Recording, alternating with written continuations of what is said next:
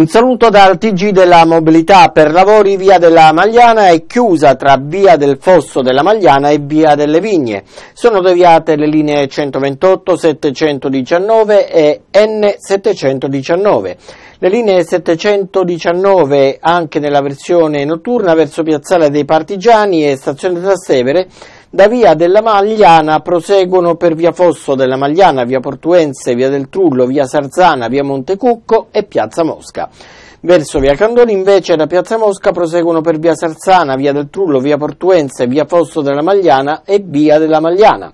La 128 verso viale Baldelli, da via della Magliana continua su via del Fosso della Magliana, via Portuense e via del Trullo verso Viale Crocco, da Via del Trullo prosegue per Via Portuense, Via del Fosso della Magliana e Via della Magliana.